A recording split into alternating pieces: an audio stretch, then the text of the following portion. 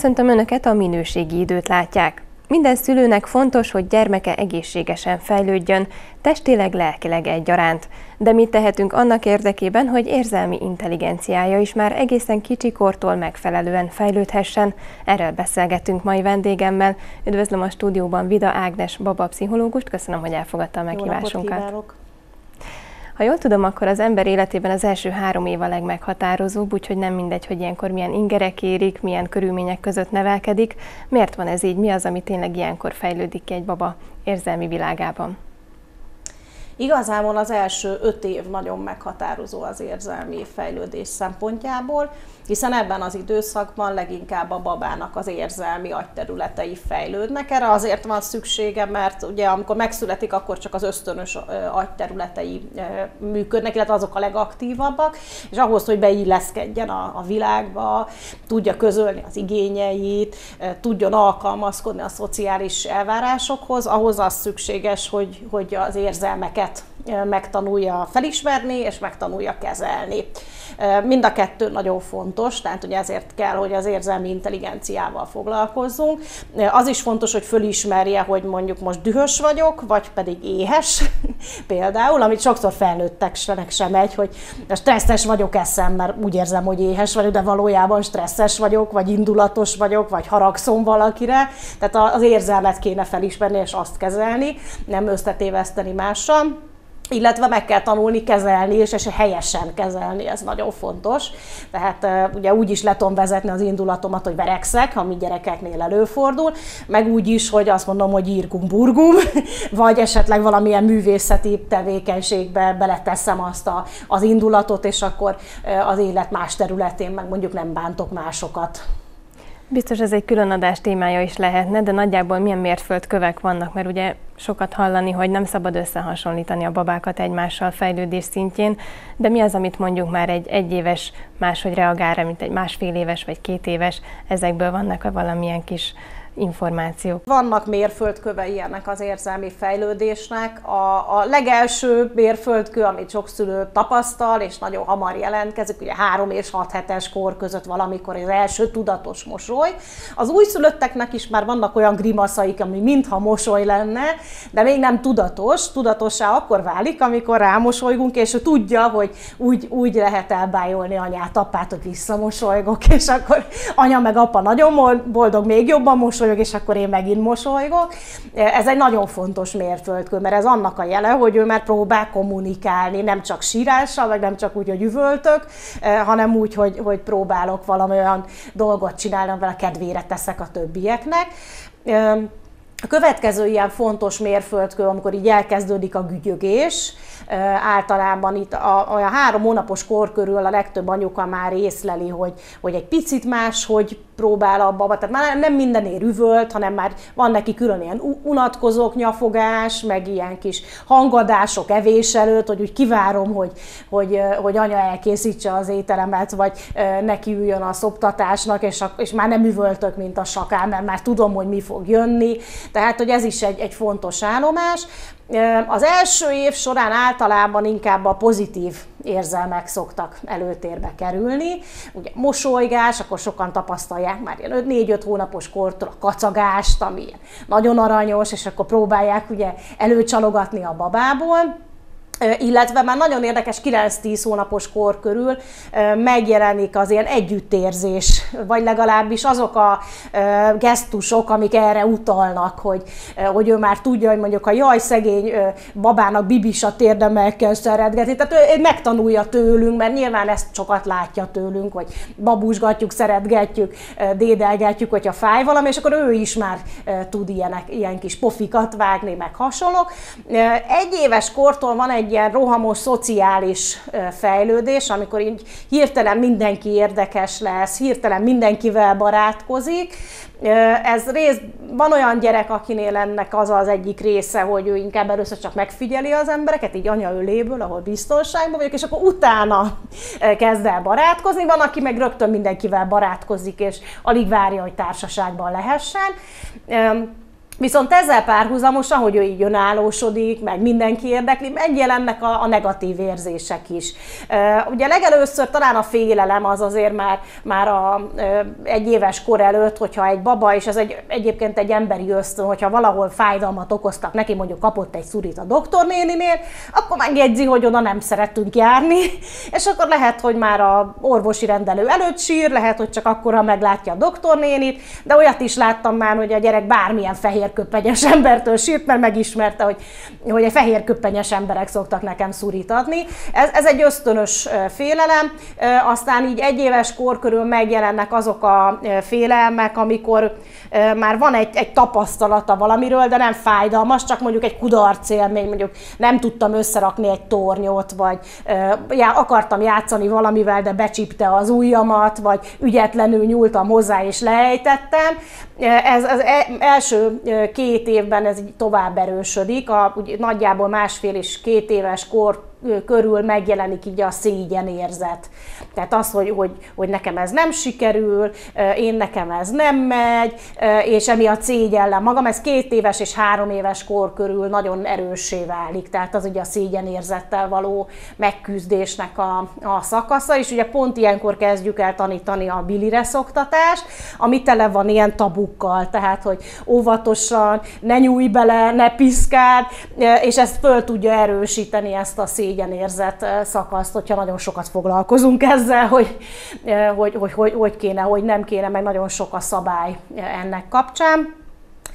Aztán a csalódás érzése még egy, egy nagyon érdekes dolog, vagy jelenség, sokan nem gondolnak így rá, már olyan 10 12 hónapos kor körül megjelenik az, hogyha nem sikerül neki valami, akkor, akkor csalódik magában egy kicsit, és akkor nyafog mondjuk szeretném meg, meg összerakni ezt a formabedobóst, de a csillag alakú nem megy be a háromszög alakúba, és akkor nagyon dühös lesz, hogy, hogy nekem ez miért nem sikerül, mert ő úgy gondolkodik, hogy ha van egy ilyen méretű tárgyam, és van egy ilyen méretű lyuk, akkor annak bele kéne menni. Tehát, hogy még a formát azt nem tudja, csak a méretet tudja beazonosítani.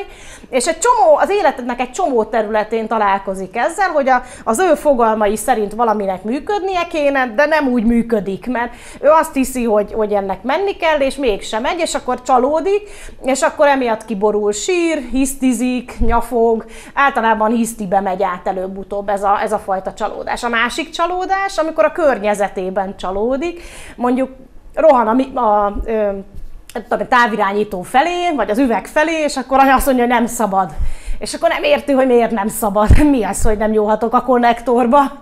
Ráadásul nagyon sok ilyen, amit így megtiltanak a szülők, azt az elején nem tiltják meg. Mert egyrészt, amíg kisebb, addig nincs mit megtiltani, másrészt sokszor először örülünk, hogy de ügyes fölmászott a dohányzó asztalra, és le is fotózzuk gyorsan, elküldjük a apukának, hogy milyen ügyes már ilyet tud, de aztán amikor már naponta tízszer fönt van, és állandóan fogni kell a kezét, hogy le ne essen, akkor ugye már elkezdjük megtiltani, és nem érti, hogyha először örült anya neki, akkor most miért nem örül. És ez is egy ilyen csalódás érzést okoz. Alapvetően ez egyébként kialakul-e a babákban maguktól, vagy mennyire fontos, hogy a szülők be úgymond beleszóljanak, és, és valahogy terelgessék a gyerekek érzelmi reakcióit? Igazából az érzésekkel való megküzdés az, az folyamatosan tanulják meg az új érzéseket. Amiben segíteni tudunk nekik, az egyrészt az, hogy fölismerje, hogy ő most éppen mit érez. Tehát például, hogyha egy három éves azt mondja, hogy nem akarok elaludni, mert szörny van az ágy alatt, akkor ismerjük föl, hogy neki nem az a problémája, hogy oda képzel egy szörnyet az ágy alá, hanem az, hogy nem szeretne tőlünk elválni. Sokkal jobb, ha anya, apa itt van, és és nem alszunk külön egymástól. Tehát, hogy neki nem a szörnyel van a baja. Sokszor ilyenkor jönnek a szülők, hogy na gyere, megnézzük a szörnyet, látod, nincs ott, tessék aludni. De ő ezt nem érti, mert, mert ő neki nem ez a, a félelme. Tehát ilyenkor a, a félelmét kell megmagyarázni neki, hogy, hogy mi, mi is igazából az, amitől ő fél. Tehát ez az egyik, hogy, hogy, hogy megértse, hogy, hogy az ő érzelme micsoda. Néha segíteni kell megnevezni az érzelmeket. Ugye amikor a gyerek tanulja a beszédet, nagyon sok olyan érzelem van, amit kapásból itt tiltunk. Tehát ne hisztizd, szedd össze magad, ne legyél anyám asszony katonája, ne sírjál már, ilyesmi. Sokszor fontos a gyereknek, hogyha megnevezzük az érzelmet. Tudom, hogy most dühös vagy, hogy nem kaptad meg a fagyit, de mindjárt jön az ebéd, és ebéd előtt nem eszünk fagyit, majd ebéd után megkapod a fagyit. És akkor elismertük az ő érzelmét. Az más kérdés, hogy lehet, hogy ugyanúgy sír egy sort, mert azért ő mégiscsak szeretné azt a fagyit ebéd előtt, de elismertük az érzését, hogy teljesen rendben van.